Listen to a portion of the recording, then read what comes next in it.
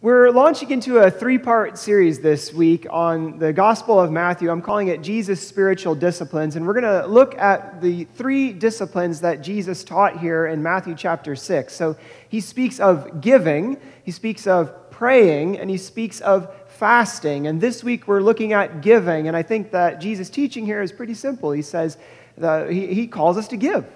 And, and you read that he says, whenever you give, and whenever you pray, and whenever you fast, which means that these are three disciplines, three acts that Jesus expects his disciples, his students, are going to be participating in and, and living out.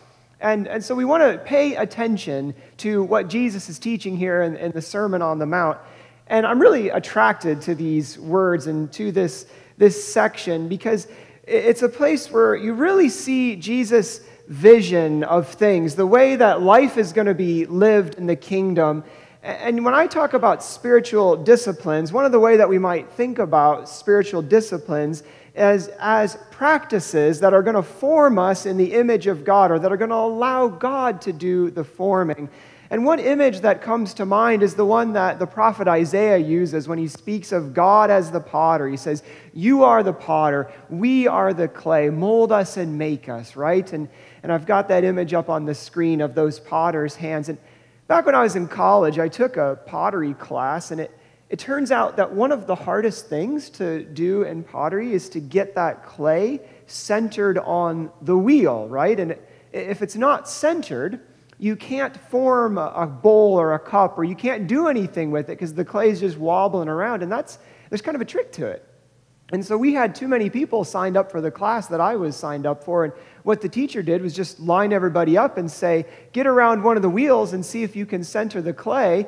And everybody did that and had such a hard time that next week there was like half half the students that had originally signed up. And so that pretty much weeded out the, the people who weren't persistent. Uh, I persisted, by the way. Um, but it, you got to get centered on that wheel. The clay's got to get centered. And I think of this image as an image of spiritual disciplines because these are practices that get us centered, that put us in a place where we can be molded into the image of Christ, where we can be shaped into a way and graced into the life of Christ so that we can be filled with all that God has for us, his blessings and peace and his joy and Back to the fruits of the Spirit that we talked about a couple weeks ago. We, these are disciplines, practices that get us centered so that God can do something with us. And, and today we're talking about giving, which is the first of Jesus' spiritual disciplines that he talks about.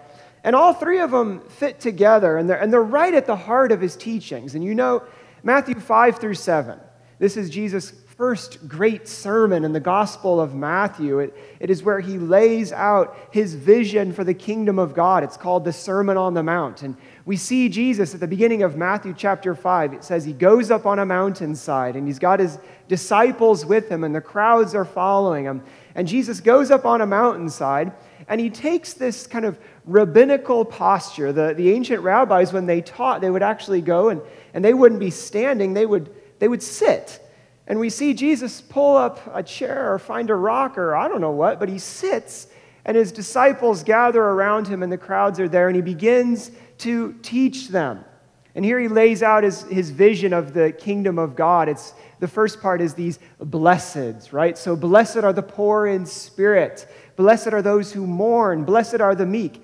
And the idea with each of these is that as the kingdom of God is breaking into the world with his ministry and the kingdom encounters these people, that they will be blessed.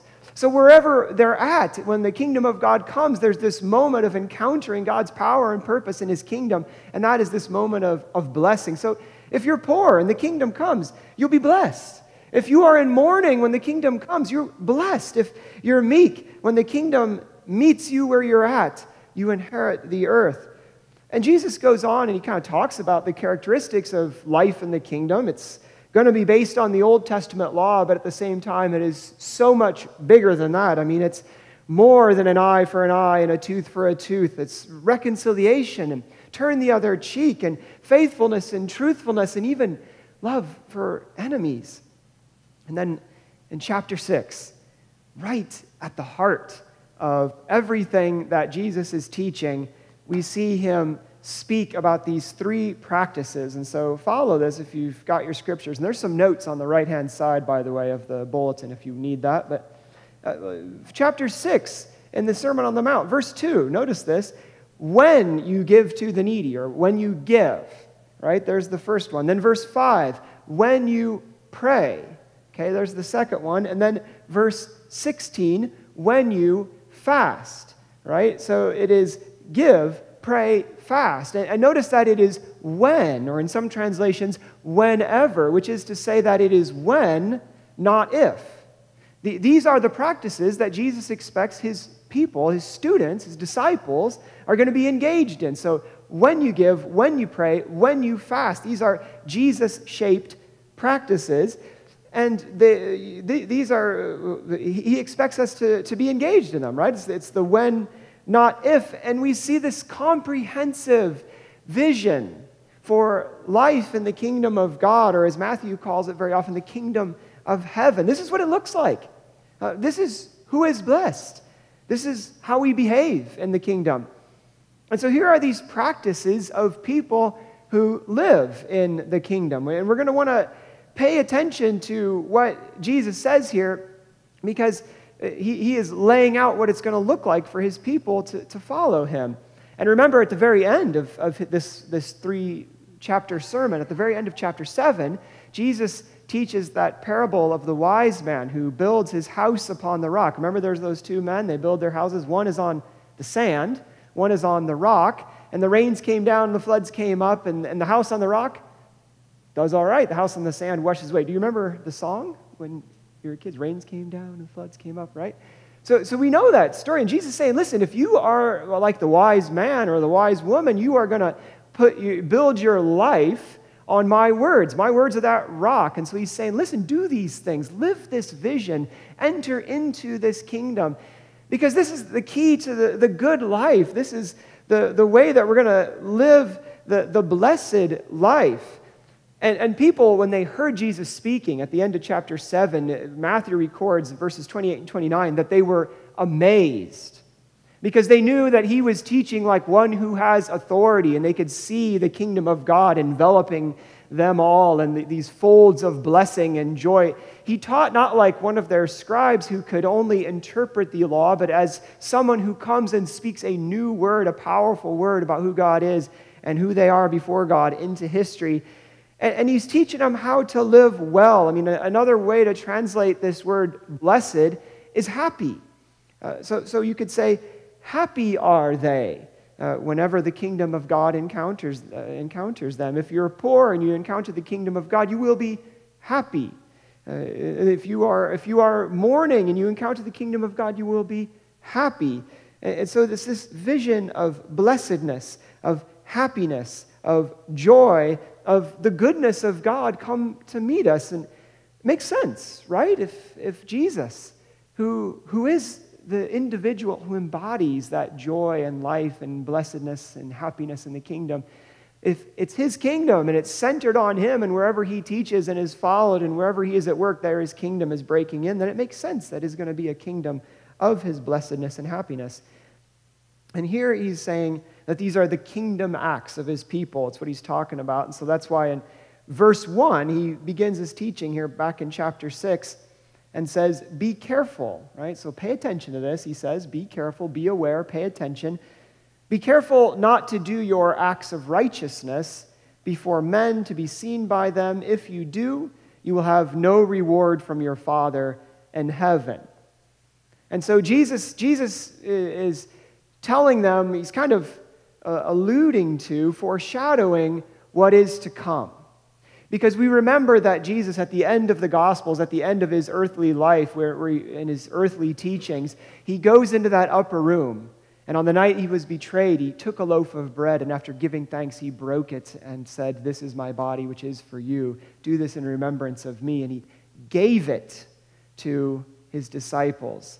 And that giving, that act of self offering is going to set the tone for his entire ministry. It's what it's po- he's pointing to right now, and it's what the church has pointed to for all of its history and will point to for all of eternity that Jesus gives himself. This act of giving is at the heart of the kingdom. And Jesus showed that when he broke that bread. And that's what he's even got in mind now, I'm sure, because he graces us with his very life. And that act of giving is permanent, it's Jesus' permanent way of coming to us. Uh, Pastor Beth Jarrett puts it this way We are called to live as people of the doxology. Praise God from whom all blessings flow. And so the word Jesus uses here is righteousness, right? He says, Be careful of doing your righteousness or practicing your righteousness before other people. And what righteousness is, is how we respond to God. It is right living with God and then right living with others. And it's really at the heart of the kingdom. It's this idea of rightness before God. Not that we know everything, that we're intellectually right, but that we are right with God and right with others, that we're living according to who God is.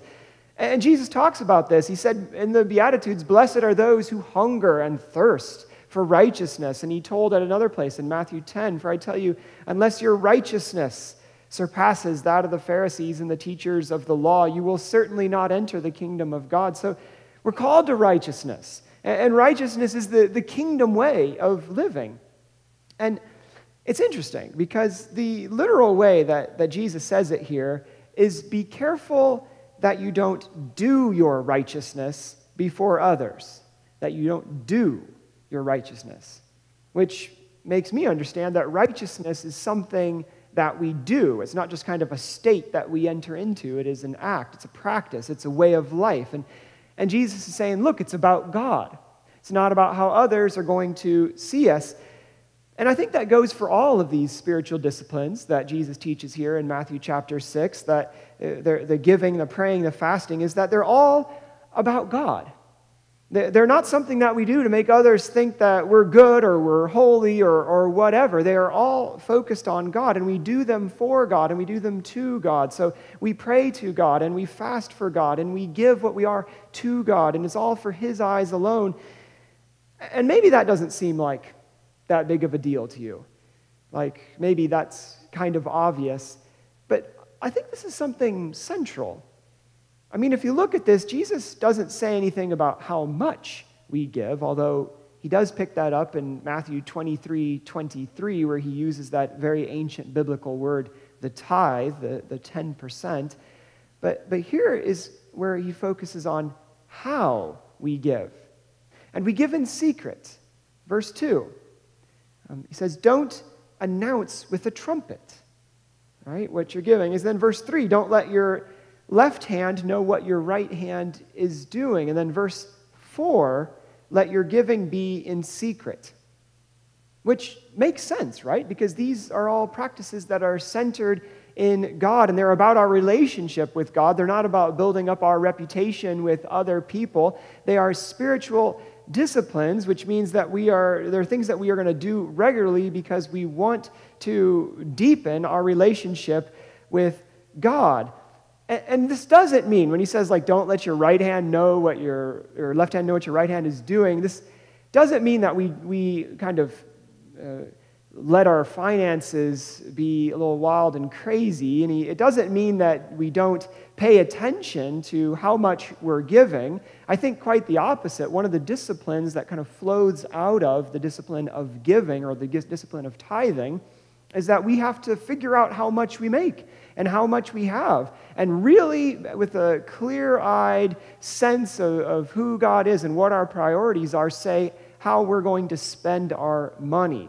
So when he says, don't let your left hand know what your right hand is doing, it's not that you reach into your pocket and whatever you get, you put, and you kind of don't see what it is. You know, it could be a one, it could be a fiver, it could be a Benjamin, it could be a bubble gum wrapper. Um, but um, he's saying, no, you got just, you're not going to announce it. It's between you and God. It's about your relationship with God. You're doing it for God and you're giving to God. You're not going to be, it doesn't mean that you, you let your finances go willy nilly. And, and, and so I think we've got to understand what he's talking about there, that it's for God's glory. And, and verse 4, it talks about how our Father in heaven will reward us. And I don't know about you, right? I can, I can get this. Like, yeah, it's not about, I don't want other people to see, you know, what I give. It's not about my reputation. It's about me and God. I get that. But the reward piece, that, that, that one uh, can make me feel a little bit uncomfortable because, I mean, it's not how I operate, right? If, and I think you're probably like me that when we, we help somebody out or care about somebody or pray with someone or whatever, we, we do those things not thinking about it as, as an investment for future, but just as what you're supposed to do, just as how God's people are to act. And down a little bit farther in this passage, in verse 19 and 20, Jesus talks about storing up treasures in heaven. And so, what, what I think we, we got to do is remember the, the bigger picture here, and, and that the, the key to understanding this is really verse 2. That if we practice our righteousness, it's kind of looking at the opposite. If we practice our righteousness before other people, then Jesus is saying it's the law of cause and effect. If that's what you want and that's what you do, and you kind of align your values in that way, then you will get your reward, right? He says that they have received their reward. So if you, trump, if you blow a trumpet and put the big check in, well, people will notice that and they'll pat you on the back. You'll get your reward. But if you do, you, give towards God, and the same applies to the praying and the fasting, if you give towards God and you are focused on God and, that, and He is who you are seeking, then that is the reward you will get, which in, a, in one way is to say that our reward will be God Himself. That if we are doing these things to get centered on that wheel and be formed by God, if we are doing these things because we want to be emptied of, of things in our life and filled with God, that will be our reward. He's saying, You'll get what you're seeking. Seek and ye shall find. Knock and the door shall be opened unto you. He's saying, if you focus on God, then that is where God's going to meet you. And so I think that's really the key to helping us understand what he's talking about here. It's not some kind of reward that is other than or in addition to God, it is simply communion, righteousness, the presence of God. Uh, and, and Jesus talks about this all through the Gospels. Re- rejoice and be glad, he says. Great is your reward in heaven. And, and whoever welcomes a, a righteous person in the name of a righteous person will receive the reward of righteousness. And whoever gives a cup of cold water to a little one in my name will not lose their reward. And, and so we've got to kind of keep that in mind that this is a, a basic way that we enter into God's presence and receive the reward of his blessing. And these are three basic practices that he teaches here to enter into the kingdom of God, see the kingdom of your, in your life. And, and you see, I'm, I'm convinced that what Jesus teaches here, that these are life shaping activities the, the giving and the praying and the fasting. This is how the clay gets centered on the wheel and gets formed. Because we are creatures of habit. And if we practice holy habits, then at some point they kind of start to stick and shape us. And you see, it's not a question of if we're going to be shaped. Because something in our lives is going to shape us. It's not a question of if we'll have habits, because we will. It's all about what's going to shape us and who's going to shape us. And it may be family and friends, and it may be gravity and genetics and the screen on our smartphone and TV and radio, but something and somebody is going to influence us and is going to shape us. It may be our hunger for money and power and food, but something will shape us. And, and these ways that Jesus is speaking of here, of being shaped by God and getting centered on that wheel, these are ways that we make the kingdom of God concrete in our lives. And so if we give and pray and fast, if we're aiming our lives at God and opening ourselves up to God, then it will be God who shapes us. And there are other things that you can do to practice the, the kingdom and make the kingdom concrete in your life. I mean, Jesus took time away for silence. Jesus had time to study the scriptures and he practiced the fine art of celebration. But there are not less than these three. These are the, the three spiritual disciplines that Jesus teaches as lying close to the heart of the kingdom way of life. And you know what, what strikes me about all of these things is that they, they are spiritual disciplines the, the, the giving, the praying, and the fasting. They're disciplines of letting go. And I think it's because if we're going to be shaped by God, then we sort of have to learn to let go of certain things in our life. We've got to, to come before God with this wholehearted sense of giving all that we have and all that we are to Him. And it's interesting because in, in Deuteronomy 16 16, God tells His people that no one is to come before Him empty handed, which points us to the reality that this definitive act of worship is to give our life to God, right? And to give who we are and all that we have to God and to live into service of Him. No one's to come before me empty handed, uh, God said in Deuteronomy. But the weird thing is that at the same time, it's really impossible to come before God unless we come empty handed, right? We've we got to give it to Him and then kind of just stand empty before Him and say, Lord, I, I, give over all that I am, and, and I, I bring that to you, and it is that you've gifted me, and I gift back to you, and here I am empty. Mold me and make me and form me and fill me. And that is what we're saying with these disciplines. And you'll notice that these are three disciplines that directly challenge such points of, of power in, in, our lives or in the, in the world. I mean, these are places that we can easily slip up, right? And I mean, we got to offer without reserve. Um, and, and offering without reserve, I mean, it's, it's giving over our material goods. And then it's, it's saying that there is no food that will fill me like you. And it's saying that there's no power that can accomplish what you accomplish in prayer. And, and all of it is that we, we're given all that we have and all that we are our whole life to Him. Learning to die a little bit to ourselves so that we can live a little bit more to Christ.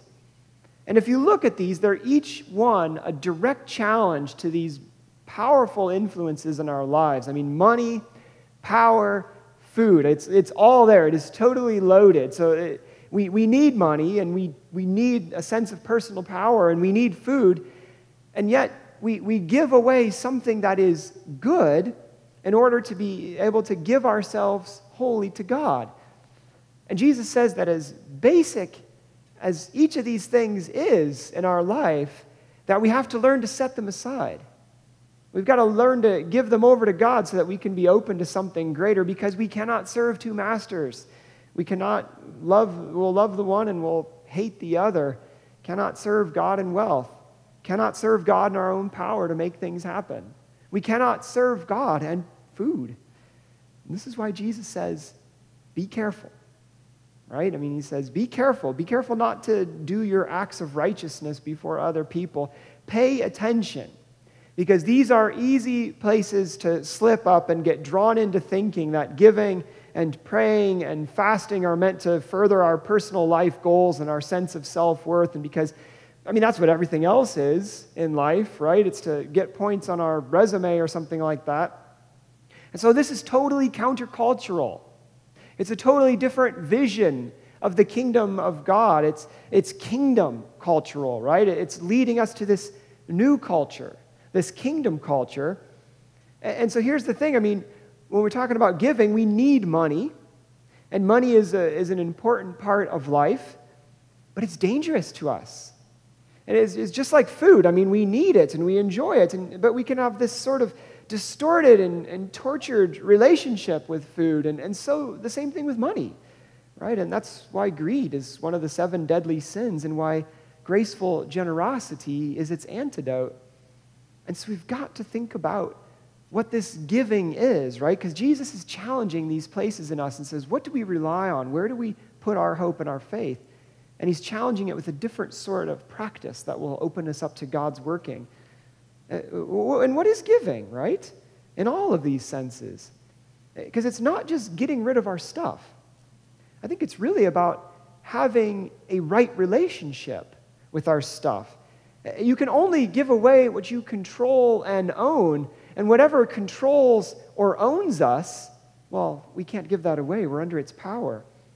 And there's something about learning to give in the Jesus way that kind of recenters us in a right relationship to our money. And so these are, these are practices that challenge our most basic understandings and assumptions about life and how it should be lived, which is precisely the point. And practices that shape us into a kingdom way of life, that school us into Christ likeness, that make us vessels that can be filled by God. This is how we get centered on the wheel. And all these things have got to be brought into control if we're going to be serious about Jesus, being Jesus' disciples, because this is the kingdom way of life. This is the Jesus way of life. And we focus on God, and everything else in our lives realigns itself around that. And we give to God, and we pray to God, and we fast for God. And it's a secret because it's God as our focus, and it's Jesus' ancient rule that seek and you find, knock and the doors opened. And in some ways, it's really that simple. We aim for God and we find God, and this just impacts our life and shapes us. It's kingdom practices that are shaping us into a kingdom way of life. Beryl Jantzi, who works for Everence, the kind of investment and, and stewardship branch of the Mennonite church, he talks about ordering our possessions in such a way that God can give us away. And I love that. And I mean, I think this is really the secret, folks. This is kind of what it's all about that we, we've got to learn to give so that we can learn to be given away by God. Learn to give ourselves to God, and then He'll fill us and use us for His work. And, and you see this in generosity. You, you, see this in the way that, that people place our, our, we place our money and we place our lives and we place our, our time, we place our work at the service of the kingdom of God. You, you see this where people are willing to follow Jesus' principle that where your money is, there will your heart be also. And in the end, I think that what we're doing is modeling our lives on God's own generosity. Because He's the God who gives abundantly far more than we can ever ask or imagine. He's the God who, while we were yet sinners, died for us. He's the God that, though He was rich, became poor for our sakes. We've got some beautiful examples of this out there. And right now, I'm sure you're, a lot of you are in the same position, but my heart is really broken by what's going on on the border, especially on the border with, between Texas and Mexico, where you have people who are seeking freedom from violence and drug trafficking and kidnapping and extortion and general horrific conditions of poverty. And if we can, we can't hardly wrap our minds around it, I'm sure, of mothers and fathers who put their children on the top of trains to let them cross uh, Mexico, hoping that they can make it into the United States and cross deserts and cross water. And my heart is broken by this situation. But we've also seen some tremendous acts of generosity just bubbling up from among God's people. And there's a movement going on right now in McAllen, Texas, where kind of centered around the Sacred Heart Catholic Church and Christians, not just Catholics, but Christians from Uh, of many different churches in the community have come and started a shelter there. Sometimes they're helping 200 people a day, and they give them water and, and food and, and shelter. And sometimes, if there's not enough space for them at the church or they're, they're, they need a place to stay for a little bit, they're taking them into their own homes. And, and I'm struck by the words of one of the volunteers there named Hermie Forsage. And she says this If my neighbor's in trouble, I help my neighbor. And these people are our neighbors.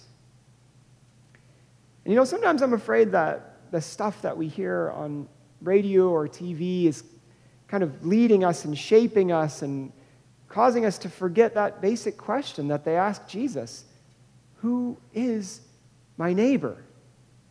And sometimes I wonder if we've got to just kind of turn off and tune out some of that toxic stuff and tune back in to Jesus and, and help us kind of live into that generosity.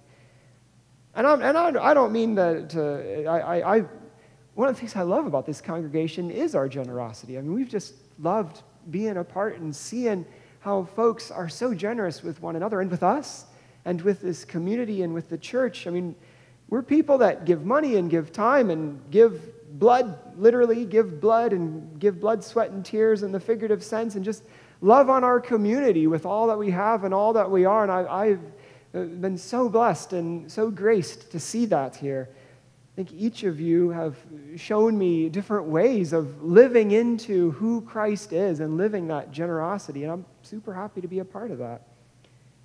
But you know, we're, we're constantly up in our game and learning more about what it means to be people of God's generosity. And, and Jesus is the one who's going to show us. I mean, he knows what he's talking about, he knows the vision of the good life. And he's teaching us that we'll put our money where our heart is, and we'll do what matters most. And there it is. I mean, that this giving is this practice that where we let go and we open up and God graces us with more of himself. He's the potter. We're the clay. Let's get centered. Amen.